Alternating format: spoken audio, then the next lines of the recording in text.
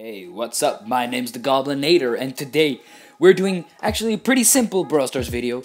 Uh, we're gonna be checking out some skin ideas, specifically from Gedi Kor, who, in case you didn't know, is uh, an artist who makes a lot of Brawl Stars skin ideas for all the brawlers in the game, and they're all extremely detailed and they all look extremely awesome. So uh, that's why I chose him for this video, and today I chose uh, the eight most recent um, skin ideas from Gedi Kor and we're gonna be checking them out. And of course, link to his Instagram is in the description below, so you can check him out. But anyway, here we are with our first skin, known as Secret Agent Colt. This guy looks pretty cool. I don't think Colt really needs any new skins, but if they were to release a new one, it would be this guy.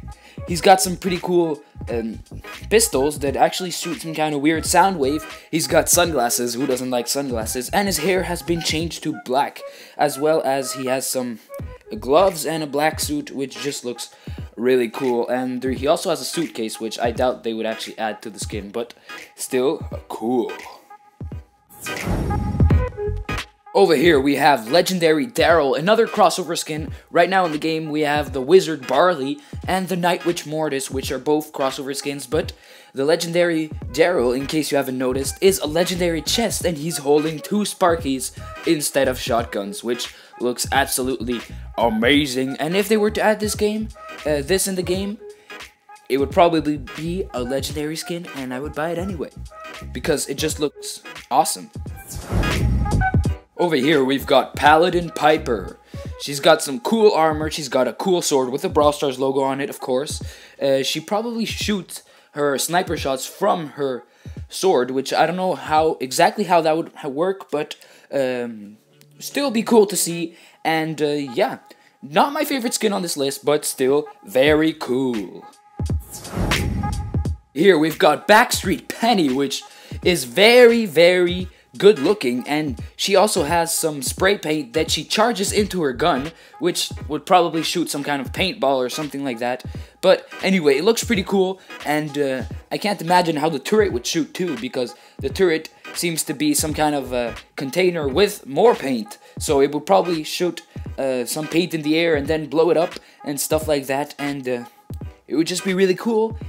And I think it looks great with the hat and all that, and the hoodie and the shoes. She just looks like a normal girl instead of looking like a pirate like she usually does. And I think that's a good look on Penny. And I wouldn't be surprised if something like this was added eventually into the game.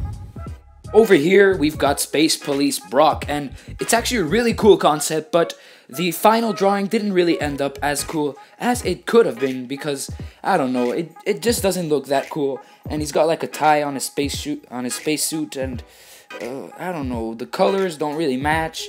It doesn't look as cool as a Space Police Brock could have looked, but I think that Brawl Stars should really add some more space-themed skins or a space-themed brawler because they really haven't touched uh, anything in that area. I mean, they've done pirates, they've done robots, they've done natives, but they still haven't even done any space-related skins. So I think that's somewhere where Brawl Stars is really lacking in, and it would be cool to make more skins like this. Over here, we've got Void Gene. You probably recognize him from the thumbnail, but he's definitely, without a doubt, my favorite from this list. They managed to make cute little Gene into a total badass coming out of the portal and throwing these little magic balls. I don't even know what they are, but they look absolutely awesome. He's got some cool horns, he's got some glowy eyes, and it just looks great. I, th there's nothing more I gotta say. It looks awesome. Over here, we've got a Bibi skin, which, in case you didn't know, Bibi still doesn't have a skin in the game yet, which is understandable since she is the newest brawler, but this would be a really cool skin for her. Uh, I would have called it Watermelon Bibi instead of Vacation Bibi because she's shooting some watermelons and she's dressed as a watermelon. Well, she's not really dressed as a watermelon, but her sweater matches the colors. So, Watermelon Bibi, it looks amazing.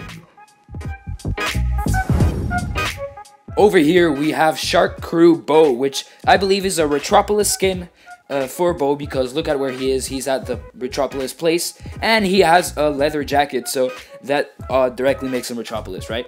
Uh, he's just finished beating up Colt, and uh, probably next he's gonna go for Bull or Darryl, which are both in the left and right. And his bow has been changed to a spear. Well, it's still a bow, but it's shaped like a spear, which is quite strange. He's wearing a shark hat as well as a shark um, storage for his bow. I don't know what that's called. Anyway, looks pretty cool, and yeah, good job, Gedi Kor. Last but not least, we have Surfboard Poco, which you can see hanging out with Summer Jessie, and uh, they're having a great time on the beach. Surfboard Poco has a hat and uh, some uh, cool surfboard and awesome clothes and some different type of tattoos that he usually has uh, near his eyes. I just noticed that as I was recording. Anyway, cool skin, very cool skin. Uh, that's the last one though, so hope you enjoyed. Leave a like and subscribe if you did, and of course check out some other videos. I've already made another video where I check out Gedi Kor's art. Uh, I'll put it in the top left corner, and uh, I'll also recommend you some other videos. So check them out. They're all good, and uh, well, actually they're not. All, yeah, no, no, they're all good. Goblinator.